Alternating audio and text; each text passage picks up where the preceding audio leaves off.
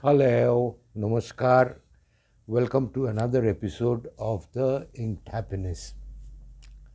We have today with us a friend of ours uh, who's sitting just there, but uh, who doesn't want to come on, you know, come on camera. And he has a request. He is coming here straight from Pen Hospital, where he has bought two pens uh, that he wants to gift to his lady love on her birthday. But before uh, giving these pens to her, he wants me to try them out, to ink them, uh, to prime them up so that you know she can start off writing all the things that he expects she will write with those pens to him. And as is normal and natural, he cannot wait to get those letters or so he's got the pens straight after buying them. now, these are the two pens that he has bought uh, Chinese pens. This is a Jinhao. This I don't know what make it is because nothing is written on the barrel or on the clip or on the cap. And uh, on the ring here uh, there's something in Chinese and the words 520 so I, I, I, I honestly don't know what it means. But uh, and on the um, uh, on the nib there's a design but it's so faint and my eyesight is also not what it used to be. So i cannot uh, make out what is written. Uh, on the face of it both the pens look good. They look good. I don't want to get into a situation where we uh, get drawn into what this originally was or this originally was or what it was called or what it was who made it first and stuff like that whether it's a replica whether it's a copy whether it's a knockoff we don't want to get into that. We will look into pens as they are.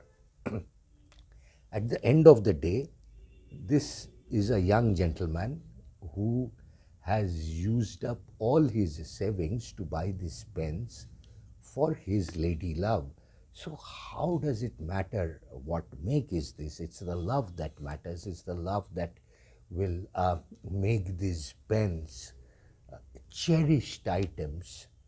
Uh, and I, I, I, I am sure you all get the drift. What we will do is we will ink up these pens in front of you, we will write with them, and we will uh, I won't say pass judgment because that's to me is a very harsh way of saying it. We will generally be discussing about dispense. Now, there's another thing that I want to tell you. I've been meaning to uh, share this with you for a long time, but somehow it misses. Uh, I mean, somehow I don't ever get to, I've not got to uh, saying it in the past. What I want to say is that it's not fair. It's not fair on our behalf, and I, I, I stand corrected for this, is uh, to take a pen, any pen for that matter, dip it in or fill it up with ink, write a, a few lines, scratch and draw those eight uh, signs and then say whether it's a good pen or a bad pen or uh, things like that. It's it's not fair. It's not fair. Just like when you uh, okay, first impressions do count, but the first impression should never be the last impression, even if it ends up being a lasting impression. I hope uh, you get the drift the point that I'm trying to say is that, you know, one has to write with a pen for a long time to understand the nuances of the pen, to give the pen enough time to settle in your hands so that the pen can also make you your own the way you are making the pen uh, your own. Because it's it's it's it's, it's like a relationship. It's like uh, it's like friendship. Uh, you cannot just walk into a room meet someone for the first time in your life and be friends for the rest of your lives. It happens i mean.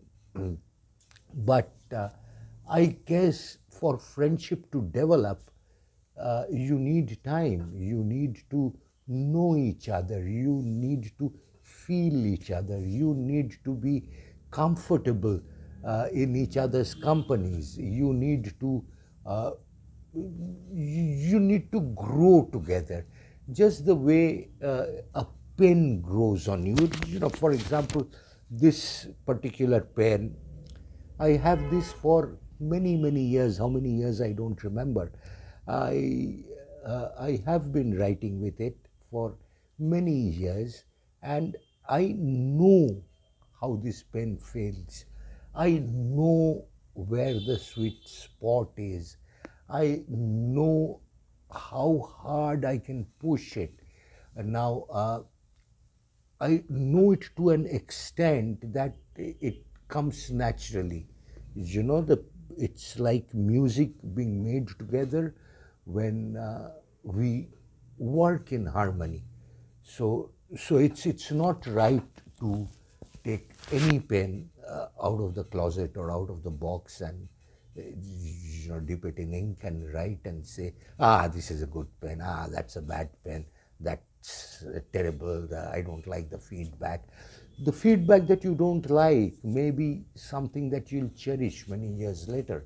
The, you know, the softness, the smoothness, the buttery feeling that a pen gives you uh, today on a different paper uh, may, you know, turn you absolutely off tomorrow. I mean, it's it's happened to me. It keeps happening to me all the time. So it's it's not right to say that this pen is good just after uh, you know uh, some cursory writing, some desultory firing. So what I suggest is give a pen a chance, give peace a chance. Similarly, give the pen a chance. Give it a chance to understand you, to mold itself to your writing habits and vice versa. When I say vice versa, I mean that give your hand some time to, to take the finer nuances to understand the quirks of that particular pen and to uh, suitably mold your writing around it so that together you can create music. But uh, too much of Ganshan. Uh, I won't get into that. Let's let's fill this up, and uh, I have been requested by my friend there, and as as I'm talking to you, he's looking at me with a, a you know huge smile on his face, and uh, he has requested that I fill this up for some inexplicable reason. I fill this up with pink ink. So I've got the pink fantasy from Swaraj and he wants the Sulekha permanent ink in this ink, uh, in this pen. So I've got the Sampurna here. So what we will do is we'll fill these pens up and uh, we will show you writing samples and uh, we will take it forward from there on. Uh, this, uh, as you can see, has a uh, you know filling system that's distinct from a cartridge converter. It has a piston filling system and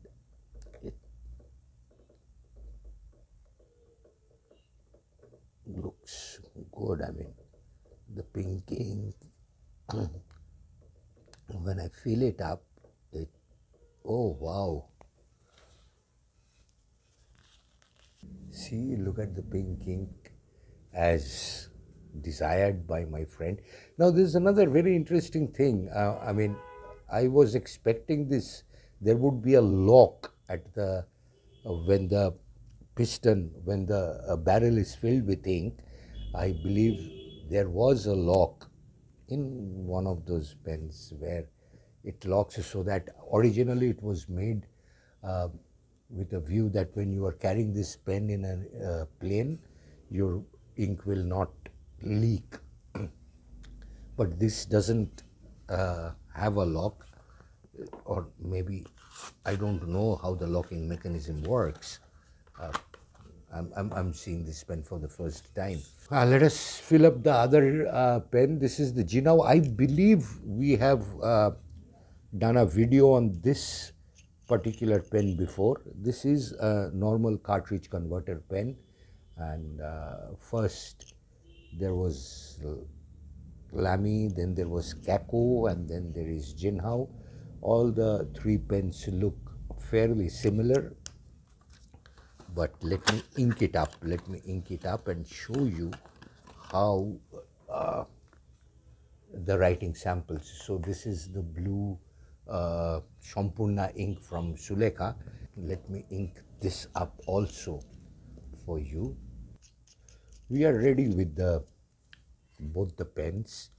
Both have been inked this with uh, Sulekha Sampurna and this with uh, the Swaraj range, the Pink Fantasy uh, from their Swaraj range of inks. And we will be showing you writing samples uh, with these pens. Now the point is, I hope the lady who, for whom these pens are meant and are being sent with a lot of love and affection, enjoys writing with these pens. I hear that she is also a fountain pen lover like the rest of us uh, out here.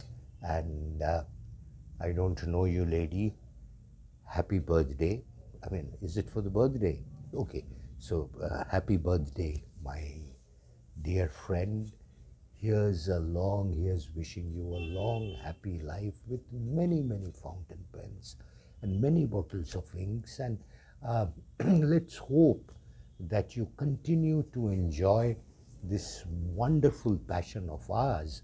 And I must also say, in the same breath, that you are indeed a lucky uh, lady because you don't have friends like this often who buy you fountain pens and uh, who takes who goes to such lengths to uh, wish you on your birthday with a special fountain pen with two special fountain pens and who who who's crazy enough as a fountain pen enthusiast to come to me to have them tested so that he can get a video done uh, so that he can also send this video along.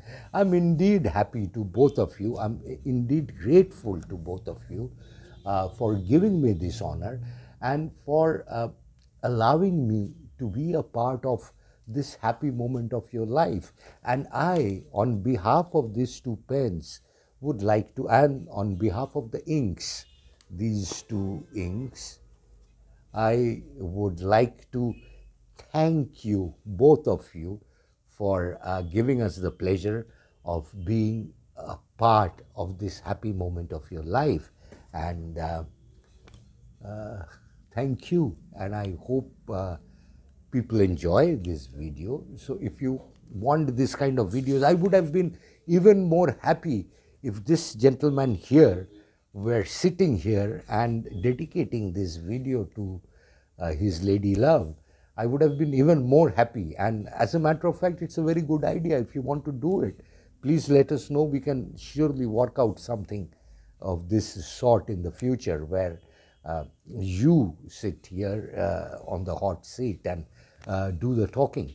And uh, you uh, explain to our friends, you discuss your pens, your inks, your writing instruments, your uh, paper, the paper that you like, your accessories to your friends and uh, we can uh, discuss it and take it forward.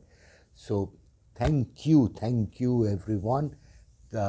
I don't know what to say. I'm overwhelmed by this gesture and I'm so happy to be presenting this bench to you. Thank you.